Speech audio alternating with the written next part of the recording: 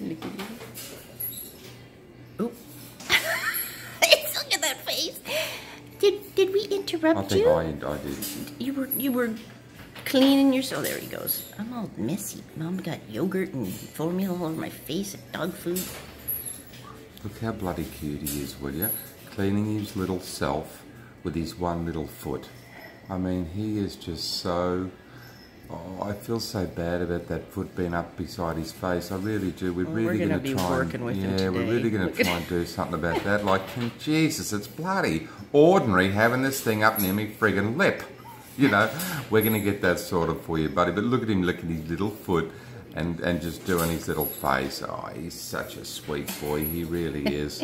He's got a personality very much like Doughboy. He really Oh, he's does. so It's sweet. completely, completely harmless. You know, and that other foot stuck up at his face.